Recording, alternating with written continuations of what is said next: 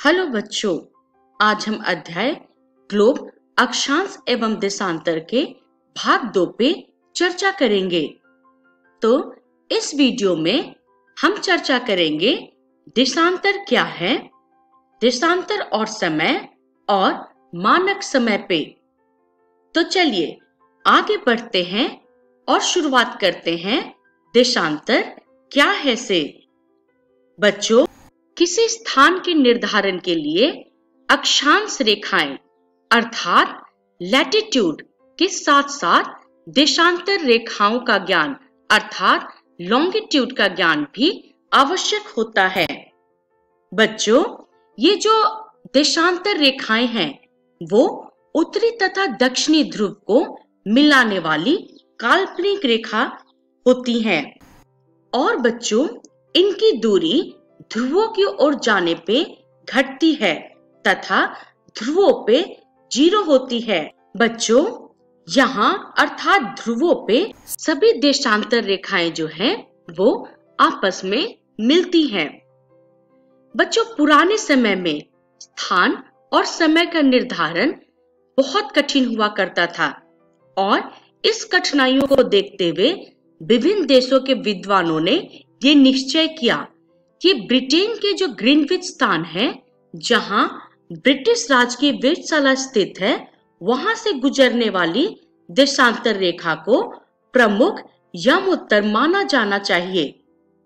तो बच्चों, इसका मान जो है, वो ज़ीरो डिग्री देशांतर है।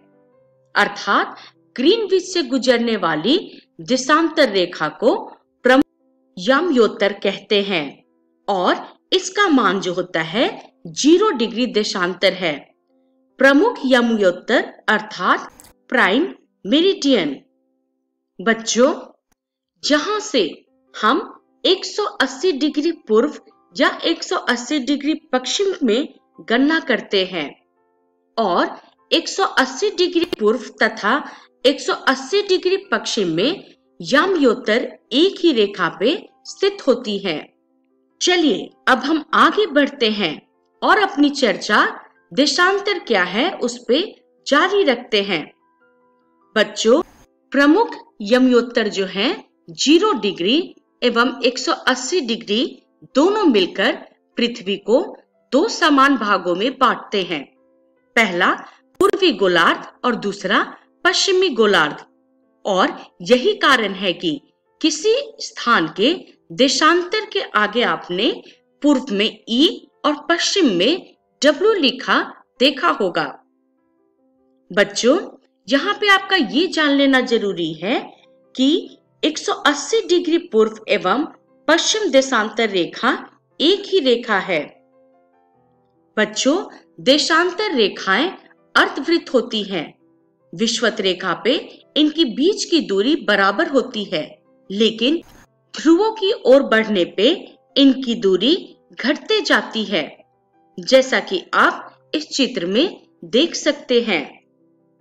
बच्चों, यहाँ पे आपको ये भी जान लेना ज़रूरी है कि दो देशांतर रेखाओं के बीच के भाग को गोर कहते हैं और ज़ीरो डिग्री अक्षांश पे दो देशांतर रेखाओं के बीच की दूरी 111.32 किलोमीटर होती है, जो ध्रुवों पे घटकर शून्य हो जाती है।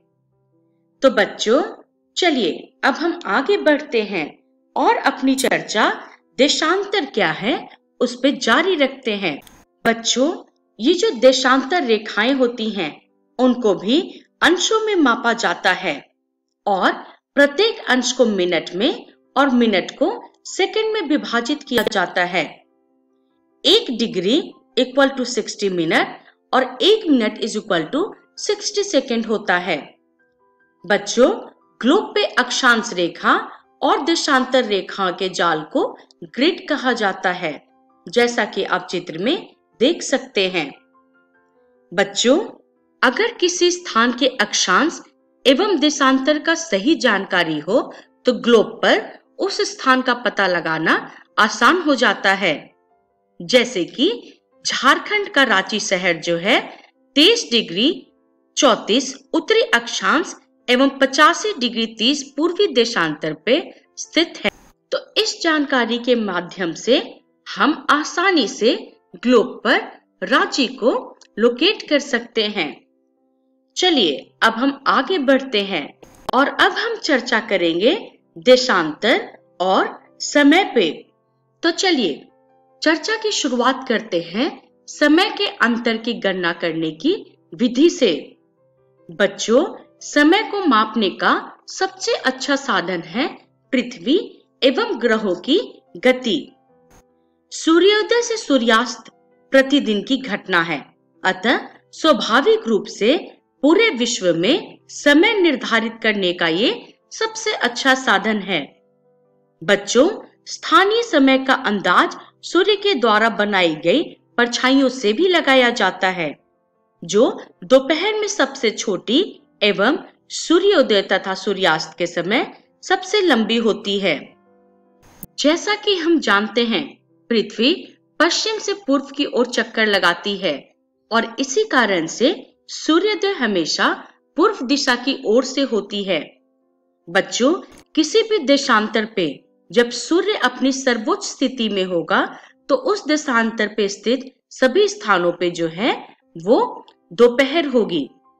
ग्रीनविच से गुजरने वाली प्रधान यमयोत्तर के स्थित देशों में समय सदैव आगे और पश्चिम स्थित देशों में सदैव पीछे रहता है।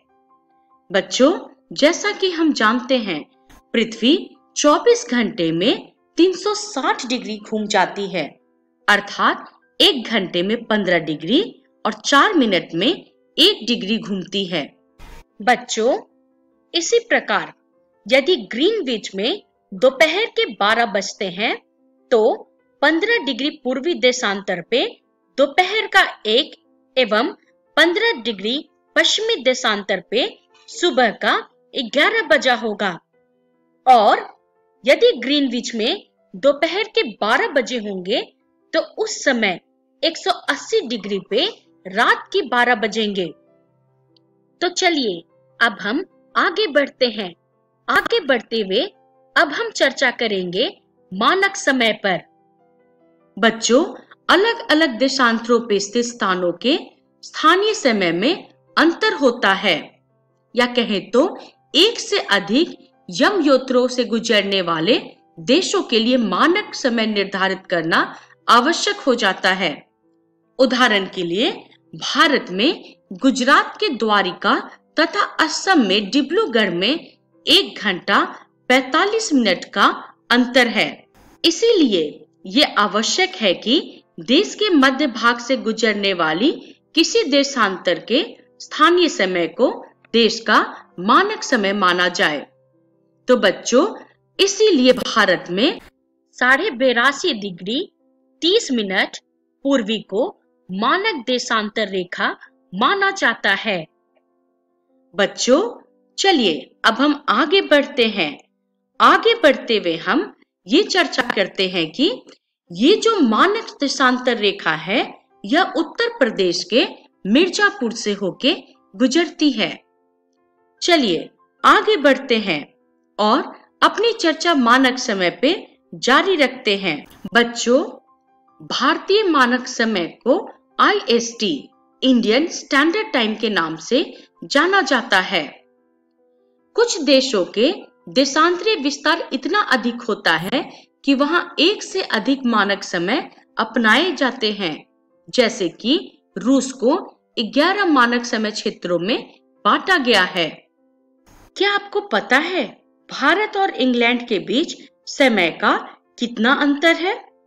बच्चों, भारत ग्रीनविच के पूर्व में बेरासी डिग्री तीस पूर्वी देशांतर पे स्थित है। तथा यहाँ का समय जो है ग्रीनविच से पाँच घंटा तीस मिनट आगे है। इसलिए जब लंदन में सुबह के दस बज रहे होंगे तो भारत में दोपहर के साढ़े तीन बजते हैं। चलिए, अब हम आगे बढ़ते हैं और चर्चा करते हैं कि इस वीडियो में हमने क्या सीखा। तो बच्चों, इस वीडियो में हमने देशांतर क्या है, देशांतर और समय और मानक समय पे चर्चा की, जिसका रेफरेंस है भूगोल कक्षा छ की पाठ्य पुस्तक और अगली वीडियो में हम प्रश्न उत्तर हल करेंगे। तब तक के लिए धन्यवाद।